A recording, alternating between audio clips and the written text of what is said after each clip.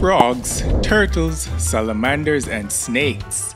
They might look alike, but do you know which ones are reptiles and which are amphibians? It's trickier than it sounds. Let's jump in and find out. Amphibians love water. They have soft, moist skin that helps them breathe. And most amphibians start life as tadpoles swimming in water. Amphibians lay their eggs in water in clumps that look like jelly. Amphibians also go through metamorphosis. Metamorphosis is a big word which is simply when some animals change their bodies, like turning from a tadpole into a frog.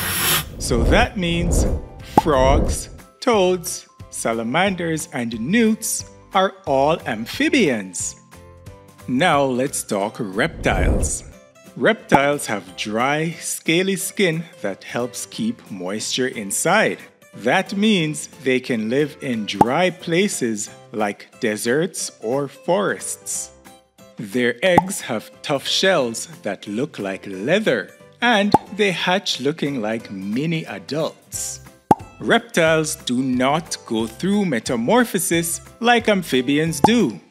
No tadpoles, just baby reptiles that grow into adults. So that means snakes, lizards, turtles, and crocodiles are all reptiles.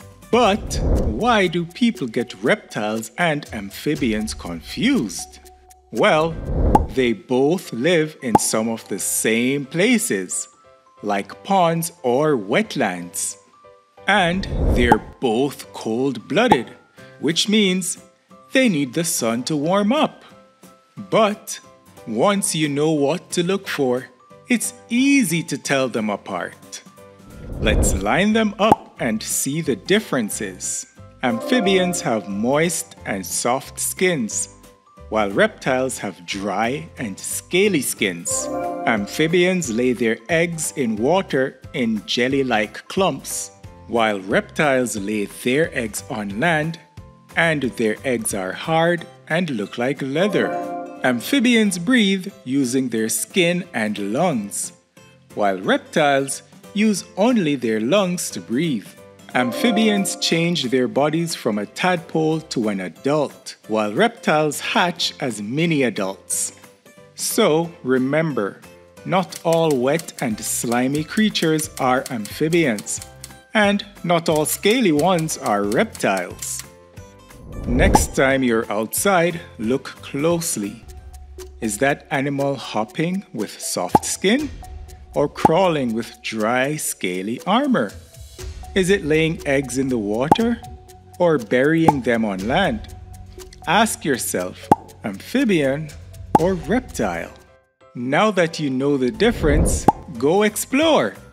Can you spot a reptile or amphibian? And don't forget to subscribe for more amazing animal facts.